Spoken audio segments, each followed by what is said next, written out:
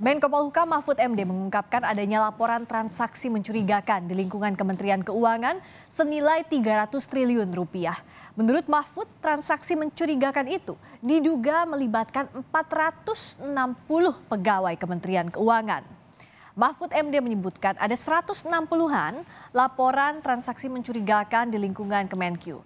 Laporan transaksi janggal itu terjadi dalam kurun waktu 2009 hingga 2023. Laporan itu menumpuk dan selama ini tidak ditindaklanjuti hingga akumulasi nilainya mencapai 300 triliun rupiah.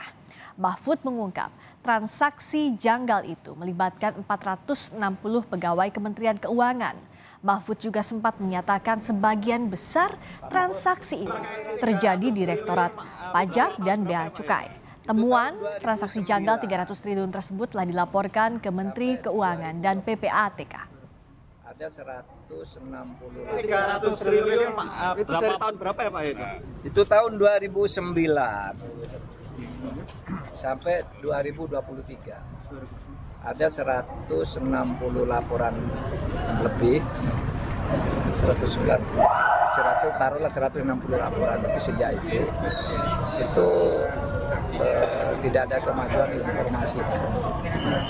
Sesudah dikumulasikan semua melibatkan, melibatkan 460 orang lebih ke menterian itu yang akumulasi terhadap transaksi yang mencurigakan itu bergerak di sekitar 300 triliun.